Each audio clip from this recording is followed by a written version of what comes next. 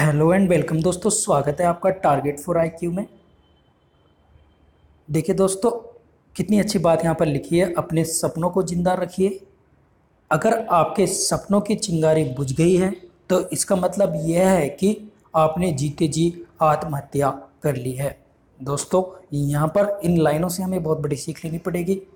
जितनी भी सिविल जज की तैयारी करने वाले स्टूडेंट्स हैं, खासकर 2018 वाले या आने वाले ईयर के जो एग्ज़ाम है जुडिशरी के अदर स्टेट्स के, उन लोगों को भी एक यहाँ पर बहुत ज़्यादा सीख लेनी होगी कि बहुत सारी वैकेंसीज यहाँ पर आ गई हैं और आप लोगों के लिए एक ये बिग अपॉर्चुनिटी है। अगर आप इसे मिस करते हैं तो आप आत्महत्या के ही बराबर आपकी ये बात होगी।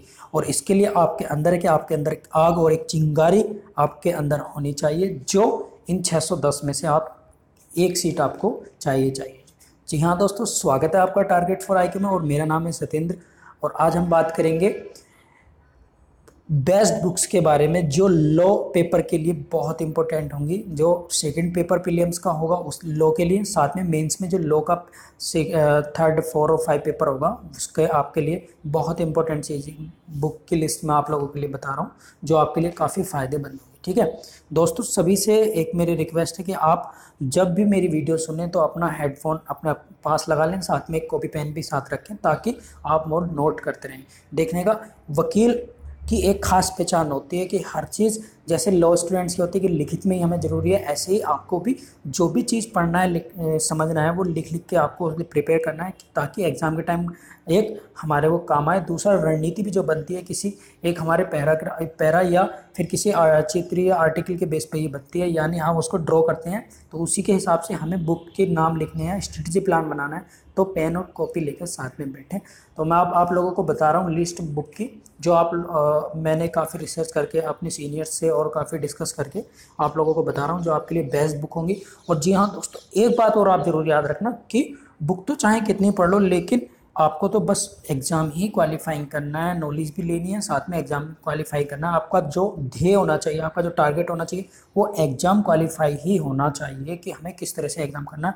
और लोके स्टूडेंट को सबसे ज़्यादा जो तो प्रॉब्लम अब आएगी आने वाले फ्यूचर में, या आने वाले एग्ज़ाम में, वो जी एस से जी एस को लेकर आएगी बिकॉज़ जी एस में निगेटिव मार्किंग यहाँ पर कर दी गई है।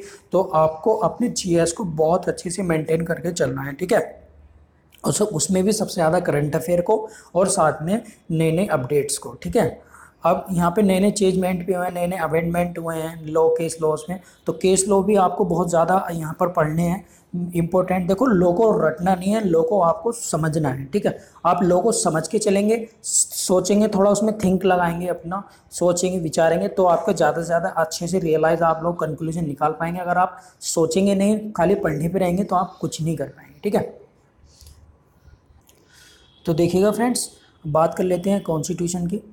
कॉन्स्टिट्यूशन का रोल जो है वैसे मेंस में तो इतना नहीं है, लेकिन हमारा इंटरव्यू में और प्रीलियम्स में बहुत ज़्यादा इम्पोर्टेंट हमारा कॉन्स्टिट्यूशन है, जो हमारा ऑब्जेक्टिव ऑब्जेक्टिव टाइप में आता है और इसका बहुत ज़्यादा वहाँ पर रोल रहता है, ठीक है कॉन्स्टिट्यूशन में। तो आप लोगों को ये आशा की जाती है आप लोगों से कि आप ज़्यादा से ज़्यादा कॉन्स्टिट्यूशन को ऑब्जेक्टिव तौर पर पढ़ें प्रैक्टिकली थोड़ा समझें और ऑब्जेक्टली ज़्यादा उसको पढ़ें और अगर आपको डी ए पी डीपली भी पढ़ना है तो आप G N G N Pandey ले सकते हैं। और वैसे आप ऑब्जेक्टिव अगर पढ़ लें तो आपके लिए बेस्ट रहेगी लक्ष्मीकांत। भी पढ़ लेंगे तो आप उससे आपके लिए बेस्ट ऑप्शन है। इन दोनों बुक्स को आप परचेज कर लीजिएगा। ये बहुत अच्छी बुक है, आप उनको अच्छे से पढ़िएगा, क्योंकि टाइम कम है। एक लोग मैं फिर से कल भी दो, कल की वीडियो में मैंने ये बताया था, जो मैंने जीएस वाले जीएस की लिस्ट बुक बताई थी, कि आपके पास टाइम कम है। आप उतना ही पढ़िए, जितना आप ज़्यादा से ज़्यादा रिवीजन कर सकते हैं। जितना ज़्यादा ज़्यादा रिवीजन कर सकते हैं। आप जो है उतने ही अच्छे स्ट्रॉन्ग बन जाएँगे। अगर आप रिविज़न नहीं कर रहे हैं तो आपको प्रॉब्लम होगी। इसलिए आप एक बुक को दस बार पढ़िए, ना कि दस बुक पढ़ना है। आपको एक बुक को ही दस बार अच्छे से पढ़ना है। नेक्स्ट है सीआरपीसी तो सीआरपीसी आप केल कर ले लीजिएगा, ठीक है? ये बेस्ट बुक है। आईपीसी की आपकी चॉइस है हम तीनों में से, वैसे P P S A Palai भी बढ़िया है के डी गोर भी सही है, और अशोक जैन की दुखी आती है, ये भी बिल्कुल बढ़िया आप जो सी बेस्ट लगे, वो ले लीजिएगा। वैसे मैंने फिर बता रहा हूँ कि पी एस सी पल्लई आपके लिए बेस्ट रहेगी। नेक्स्ट है इंडियन एविडेंस एक्ट की, ये है लाल की, ये या दुखी, इन दोनों में से जो सी अच्छी लगे आप ले लीजिएगा, ठीक है? ये भी बेस्ट बुकें आपके लिए हैं।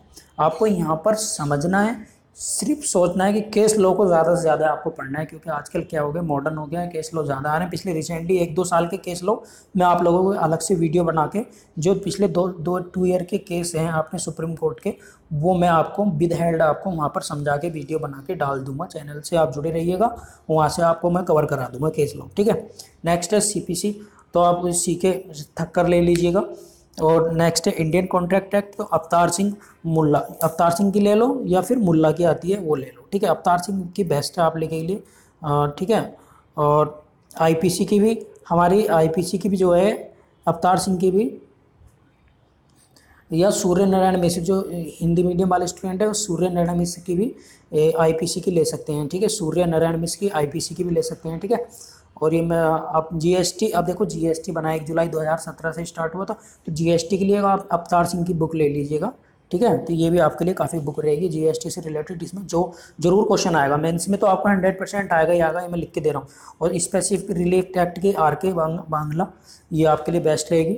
नेक्स्ट लिमिटेशन एक्ट ये जे डी जैन और हिंदू लॉ की जो आपको बेस्ट लगे मार्केट में, वो आपके लिए बढ़िया है। और दूसरा मुस्लिम लॉ में अकील अहमद बेस्ट है। ठीक है? मुस्लिम लोग ही अकील अहमद सही है और हिंदू लोग जो आपको बेस्ट लगे, आप वो ले लीजिएगा। ठीक है? और जो हमारा विधि शास्त्र है जुडिस्प्रियंस उसमें आप त्रिपाठी की बुक ले लीजिएगा। इसमें मैंने लिखा नहीं, मैं बता रहा हूँ आपको। त्रिपाठी की बुक आपकी बढ़िया रहेगी विधि शास्त्र के लिए और एविडेंस के लिए भी। एविडेंस एक्ट के लिए, हिंदी मीडियम वाले स्टूडेंट्स के लिए मैं बता रहा हूँ अच्छे समझ में आएगी आपकी अवतार सिंह की, ठीक है? ठीक है दोस्तों? तो अवतार सिंह की आप ले लीजिएगा, जी, और संविधान की जे एन पांडे की मैंने बताई दी आपको सीपीसी की, त्रिपाठी की भी आप ले सकते हैं सीपीसी ठक्कर के अलावा त्रिपाठी की बुक आप ले सकते हैं ये बेस्ट बुक हैं आपके लिए। इनमें से कोई सी मेरा आपसे फिर भी बार बार रिवीजन कहना है कि आपके पास टाइम कम है, जो बिगनर है, या जो पहले से तैयारी कर रहे हैं तो बहुत अच्छी बात है। आप उन्हीं बुकों को अच्छे तरीके से पढ़िए, बार बार रिवीजन करिए, बार बार रिवीजन करिए, लिखिए, लिख लिख के प्रैक्टिस करिए, साथ में एक दूसरे से डिस्कस करिए, और किसी तरह की कोई प्रॉब्लम है तो आप कमेंट बॉक्स में भी क्वेश्चन पूछ सकते हैं, या जनरली डिस्कशन कर सकते हैं। आप लोगों का बहुत बहुत धन्यवाद रहेगा, और मेरा एक ध्येय रहेगा कि मैं ज़्यादा से ज़्यादा आप लोगों को यहाँ पर कोऑपरेट और सपोर्ट करूँ। तो मुझे आपसे उम्मीद है कि आप वीडियो को ज़रूर लाइक करेंगे, साथ में कमेंट्स करेंगे और वीडियो को शेयर करेंगे, साथ में चैनल ज़रूर सब्सक्राइब करेंगे और बेल आइकन ज़रूर प्रेस कर लेना ताकि U P P C J दो हज़ार अट्ठारह से रिलेटेड न्यूज़ अपडेट और सिलेबस और यहाँ के टॉपिक और सेगमेंट आप लोगों तक पहुँचते रहें। तो मुझे आप लोगों से कोई कंट्रीब्यूशन नहीं चाहिए, बस आपसे इतना चाहिए कि वीडियो को प्रॉपर देखें पूरी वीडियो देखें, साथ में अपनी बात भी मुझे बताएँ। कमेंट बॉक्स में आपका बहुत बहुत स्वागत है। जय हिंद।